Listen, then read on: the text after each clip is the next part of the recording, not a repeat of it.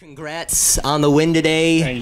One of the biggest stories of the night, at least what we were talking about in the broadcast booth, was just how strong the defense was, and a lot of it started with you. Tell me how it all worked tonight. Um, I think you know we're senior led. You know we got Joey and Dom talking really well down low. Uh, you know we got Mark Paus coming in the last few weeks, and uh, I think we're really meshing. Uh, you know we're all coming back uh, this year, and uh, like Coach said, we really we really do bleed for this program, and you know we want to win, we want to be successful, and we want to continue it uh, throughout the rest of the year. How did it feel, feel to put that ball in the hoop? Now, let me tell you, having said that, and I want to ask you, did you see the reaction of your opponent, your opposing goalie, when you scored on him? No, I couldn't believe it went in. I had to double check. Um, you know, like like Coach said, it's about time. I, I think I was like 0 for 8 in the last three years. So I was surprised. As, I was as surprised as he was.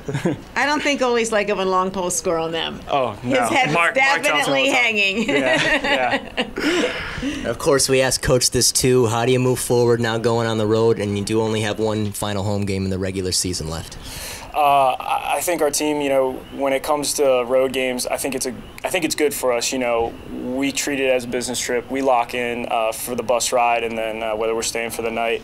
Um, you know, mentally, I think the team had a rough first five, and then now from here on out, you know, we know what we're made of, and we're going to keep moving forward and getting better.